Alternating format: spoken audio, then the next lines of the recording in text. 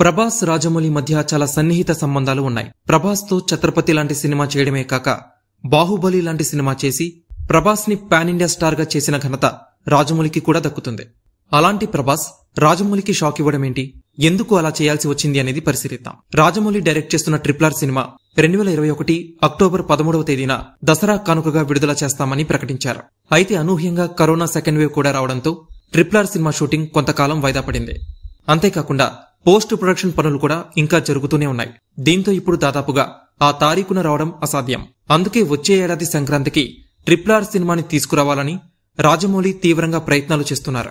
అందులో భాగంగానే ఇప్పటికే సంక్రాంతికి రిలీజ్ డేట్ ప్రకటించిన మిగతా సినిమా యూనిట్స్తో మాట్లాడుతూ కుదిరితే వాళ్ళ సినిమాని వాయిదా వేసుకోమని చెప్పే ప్రయత్నం చేస్తున్నట్టు తెలుస్తోంది.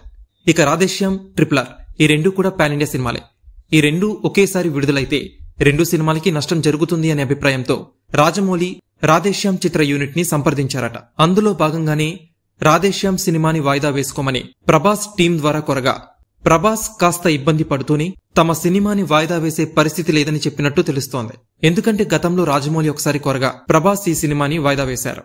అప్పటికీ షూటింగ్ పూర్తి కాలేదు. ఎప్పటికీ పూర్తవుతుందో కూడా తెలియని పరిస్థితి నెలకొండంతో ప్రభాస్ రాజమౌళి కోరిన వెంటనే అందుకు ఒప్పుకున్నారు. కానీ ఇప్పుడు పరిస్థితులు మారిపోయాయి. ప్రతి సినిమాకి రిలీజ్ డేట్ ఎంతో ముఖ్యం. మరీ ముఖ్యంగా సంక్రాంతి సీజన్.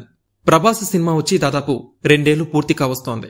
ఇప్పుడు ఎలా అయినా ఈ సినిమాతో ప్రేక్షకుల ముందుకు రాకపోతే ప్రభాస్ ఫ్యాన్స్ ఖచ్చితంగా అప్సెట్ అయ్యే అవకాశాలున్నాయి.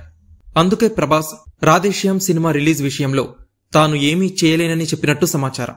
అంతేకాకుండా ఇవాళ రిలీజ్ అయిన పోస్టర్లో కూడా జాన్వరి పద్నాలుగు రిలీజ్ డేట్కే రాధేశ్యాం కట్టుబడి ఉంది. సో ప్రస్తుతానికైతే సంక్రాంతికి రిలీజ్ అయ్యే సినిమాల విషయంలో ఎలాంటి మార్పులు లేవు. సంక్రాంతి సీజన్లో ప్రేక్షకులు మినిమం నాలుగు సినిమాల్ని ఎక్స్పెక్ట్ చేస్తారు.